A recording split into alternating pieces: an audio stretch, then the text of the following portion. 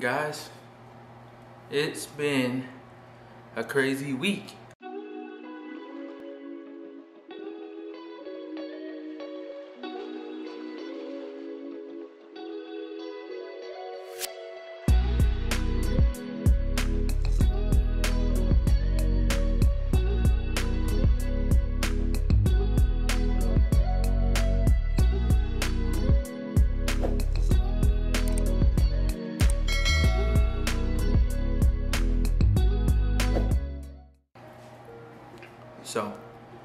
Hopefully the heater's not bothering you. There's just a lot to say in my head, and uh, I'm trying to get it all out. Bear with me, guys. So, in this video, judging by the thumbnail and the title, there won't be any fishing in this video. But if you stick around, I'll tell you why. So, let's just start with the most important news first. This is the most important news I've probably ever received in my life. Um, a couple days ago, I found out I'm going to be, drum roll, a dad. It's crazy. It's crazy to think about. Um, but it's crazy. I'm excited. I'm nervous. I'm happy. Um, obviously, I've never been a dad before. I've never done this before.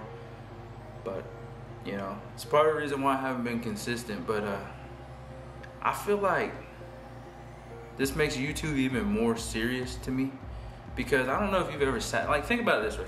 I don't know if you've ever sat down and, and talked to your dad or your mom or your grandma or your grandpa and asked them questions and they told you all these unique stories about growing up. And that's kind of how I look at YouTube now. Now that I have a kid on the way, I don't know if it's a boy or a girl.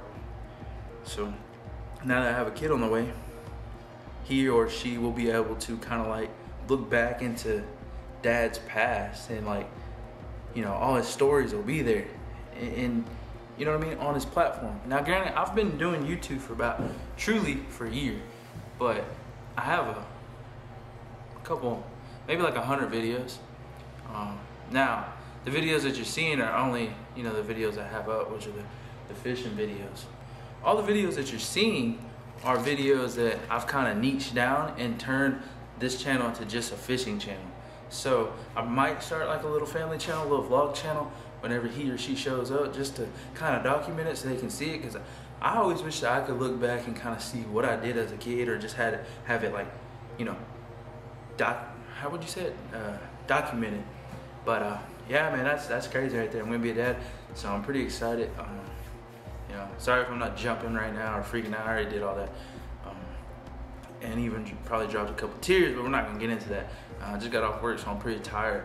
But we're gonna bang these videos out. So now let's move forward. We got the biggest news out the ways. Now let's talk about the channel and what we're trying to do here. So recently I caught some new baits. Let me go ahead and just show that. I don't know if you guys got these yet. Right there, I'm gonna see if I can't get that looking good for you. Those are the rattle bots. There's that one. These are both the crawl. These are basically lipless crankbaits, but they're different. And I don't know if you can hear it. Different rattle too. It's like a deep, deep rattle. So this is a two and one, uh, two and a half inch bait, uh, half ounce, I believe. Yeah, half ounce lipless crankbait that uh, I picked up. They're brand new. They just came out recently. So those are the kind of things that I have that I want to show you guys. I also have some other baits, but I'm not going to show you. So why have I not been able to fish? Winter, storm, warning. I live in Texas. This stuff makes no sense, bro. It's 28 degrees with a real feel of 19. The whole entire week. Let's just read some numbers off. Today's Friday. So let's read some numbers off. Saturday, 39. Sunday, 34. Monday, 21. 27, 36, 37, on and on. It, it's been icing, it's been raining, it's been freezing cold, and just can't make it happen right now, boys. And that's like one of the big reasons Besides the fact that I found out I'm having a kid and I haven't been able to go out and rip lips. That and work. So, but nonetheless, today we're gonna kind of talk about the rig that I have right here. So what I'm working with right here, there's a green kayak as you can see right here. This thing's dirty. Keep in mind, I don't believe I've posted this kayak yet.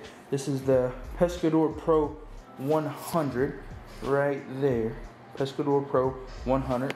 Over here, Perception or perception. Okay, perception. Um, I've actually had this kayak for a minute. Oh, never posted it because I haven't. I bought it back in the winter time, so I really wasn't able to even just go out there and kind of rip it around. Now, kind of a disclaimer here, guys. I'm working on getting a truck. Used to have a truck that we towed this thing around with. That's another reason we haven't been able to get it out there. And they just got to my house um, that I moved to, so they just got here anyways. All right. So I'm kind of everywhere because there's just a lot going on in my head. So basically, this is what we're gonna be working with. But like I said, the disclaimer is hopefully once I get the truck and everything, this will probably be a couple months before I actually do what I'm gonna do. I want to upgrade this kayak to something crazier. It's obviously another kayak. I can't get a boat right now. Maybe a year or two we can get a boat. I don't know. But uh, we want to upgrade this thing to the Old Town Road with the Minn Kota. I think I think 120. So basically, just it's a kayak with a trolling motor and it's super stable, and it's it's just gonna be perfect for fishing. But uh, yeah, right now we're working with the Perception Pescador Pro 100. Bought it in the winter time. Yeah, fished out it a little bit. Don't even know if I flipped a fish in it yet. I've only been in it probably about four times. So this red kayak over here is trash, and so are so are these. These aren't ideal for kayaks, obviously, but uh, this red kayak I never use. So right here is what we're gonna be working with, y'all. So a couple things about this kayak real quick. Storage in the back. So my foot is about, hmm, I wear a size 12. So there's one 12, and there's two with a little dry storage right here. Boom. Okay, so I mean, pretty good storage in the back. Um, nothing crazy. You know, it's pretty cheap kayak. I believe it's around seven something, seven hundred. I think it was made even in 2016. Right here, we got two rod holders, which is another problem because I got, excuse the mess, y'all. More than two rods. I got the Lew's right there, Lew's right oh. there, Abu Garcia, and those are like my babies, dude. I gotta have both bait casters and my Lew's spinning combo.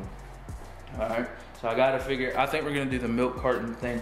We're gonna talk about upgrades in another video or something. We're gonna figure out what we're gonna do to upgrade. I just kind of want to show you guys something. Moving on from where the poles go, we have the seat. The seat's actually really comfortable. So if you ever get this kayak, I just want you to know that this kayak has two different levels. So your seat straps in with these bungee deals right here. So they'll strap. This seat will strap right in. This is your low position. As you can see, this thing's low to the ground. Probably be more stable if you're low, but I like to ride up high, especially because some of the water likes to get over there and you don't want your butt getting soaking wet. So seats, pretty good. Little handles right here that are made in. As you can see, our paddle goes right here. Pretty nice little spot with the grooves. It's always good to have this because when I was fishing in this, it's hard to it's hard to have the paddle in your hand while you're trying to throw a fishing line it's just a mess. You, it's good to have that. And I can't wait to drop this in the creek. I had this thing in the rivers, or not in the creeks. Can't wait to drop this thing in the lakes. I had this thing in the creeks and it would just blow all on the bank. Couldn't keep it steady. And just kayaks. I've never owned one before. So we're moving on. Got some scupper holes, obviously. There's scupper holes all through this thing. I need some scupper hole plugs. Okay, those are like some of my bucket list things to get for this kayak. I hate scupper holes. Um, they just get wet and make everything else wet. So we also got some tracks right here. We're gonna mount us a, a fish finder on here. We got some more storage up here. Not bad. Cup holder. I gotta clean this thing out. Haven't had time. I was gonna clean it out, but it's freaking below freezing outside. You know, so we got tracks over here. We got footrest up here, and then we got some more storage. And I believe our transducer, when we get our fish finder, can go down one of these scupper holes. It's made for. But that right there, guys, is a brief of the Perception Pescador, or yeah, Perception Pescador Pro 100. Whew, lots going on, guys. Hey, man, short video. I believe it's a short video. If you're here and you're still rapping with me, I appreciate it, man. Thanks for tuning in. It really feels like a family now. Really does. And I'm even more motivated to do YouTube, like I said, just to document my life. So we're gonna be getting this big green machine out there. Drop down in the comments, help me name this thing. Um, get ready to see, you know, in the future, maybe my daughter, my son, not sure. And uh, hopefully we can get back to on routine and back to the right videos later on. But if you're rocking with me, I appreciate it. If you still want to get in on that giveaway, make sure you go over to my Instagram and follow me. Drop a DM so I can find you. It'll be a lot easier. So anyways, appreciate y'all for tuning in for today's episode, man. Remember, it's cold outside, but March is right around the corner and it's gonna turn up. We're gonna make some fire videos, man. So I'm gonna catch you on the flip side. See ya.